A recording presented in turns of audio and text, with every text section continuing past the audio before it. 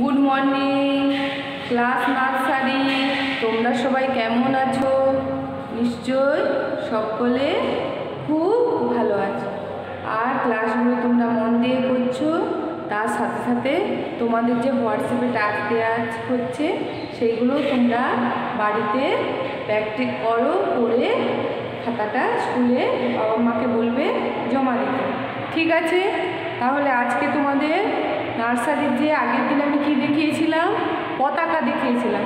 তোমরা এগুলো বাড়িতে করবে কালার করবে কালার করে তোমাদের হয়ে গেলে আগে খুব হাফ ইয়ারলি তোমাদের এবারে আর তিনটা টার্মের পরীক্ষা হবে না।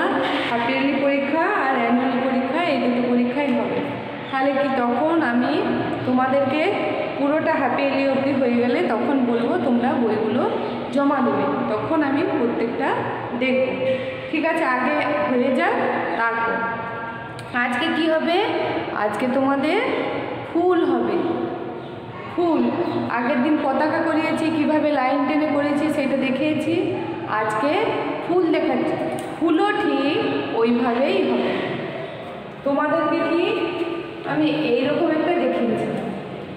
আবার তার সাথে এইরকম একটাও দেখিয়েছি। এইটা মনে হয় দেখানো হয় এম আর এমটা উল্টে গেলে ডব্লিউ তাহলে এইরকম করে ফুলটা কীভাবে করা যায়, আমি সেইটাই আজকে তোমাদের দেখাবো। কীরকম করে? এই বড় করে হলো।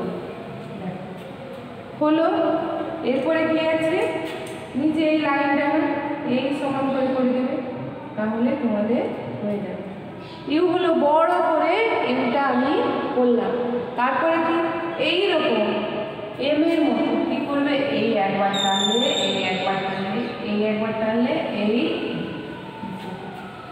হলো কি না? হলো? তাহলে এইটা অতি সহজ, এত সহজ তোমরা নিজেরাই করতে পারো।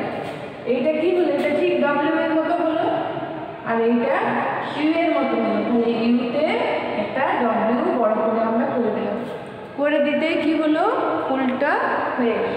এবার এই ফুলটাতে কি রং দেবে? ফুলটাতে তোমরা কাঠ পেন্সিলে করে এখানটায় গোলাপি রং দেবে। গোলাপি রং তোমরা দেবে। আর এইখানে কি দেবে? এইখানে তোমরা সবুজ রং দেবে। আর অবশ্যই তোমরা কাঠ পেন্সিল ব্যবহার করবে। কাঠ পেন্সিলে করে তোমাদের নার্সারি ক্লাসে কিন্তু রংটা দিতে হবে। কেউ মোম পেন্সিল ব্যবহার করবে না। মোম পেন্সিল যদি ব্যবহার করো, তাহলে কিন্তু সেই ড্রয়িংগুলো তোমাদের দেখা হবে না এবং পরীক্ষার সময় যদি মোম পেন্সিল ব্যবহার করো, তোমাদের নাম্বার কাটা যাবে, সেই ছবিই দেখা হবে না। ড্রয়িং কোনোভাবেই অ্যালাউ করা যাবে না। সেই জন্য তোমরা সকলেই কাঠ পেন্সিল দেবে। কাঠ পেন্সিল একটু শক্ত, বুঝতে পেরেছি, কিন্তু আস্তে আস্তে ধরে ধরে তোমাদের এই কাঠ পেন্সিলে করতে হবে। ঠিক আছে আজকের ক্লাসটা এই পর্যন্তই। ততক্ষণ পর্যন্ত তোমরা ভালো থেকো সুস্থ থেকো।